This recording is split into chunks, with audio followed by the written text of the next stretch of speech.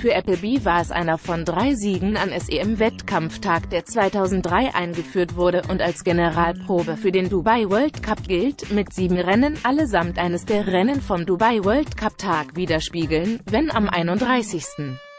März insgesamt 30 Millionen Dollar Preisgeld ausgeschüttet werden.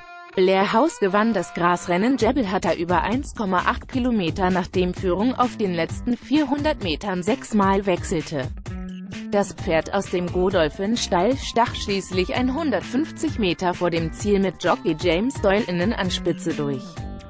Zweiter wurde der von Sead Bin Suro trainierte Ben Battle vor dem von Mike de Kock trainierten Janobi.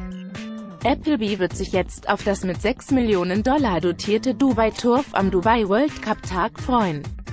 Die perfekte Vorbereitung für den mit 10 Millionen Dollar dotierten Dubai World Cup aber gelang North America mit seinem Sieg in der Al Maktoum Challenge, dem mit 400.000 Dollar dotierten Spiegelrennens des großen Highlights vom 31.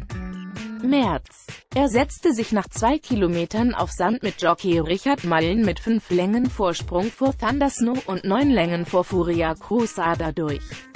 Appleby durfte neben dem Blair House Sieg im Jebel hatte auch über einen Sieg von Jungle Cat im Nat Al-Shabaturf Sprint freuen, sowie über den von Hawksbill im Dubai City of Gold zum Abschluss des Abends.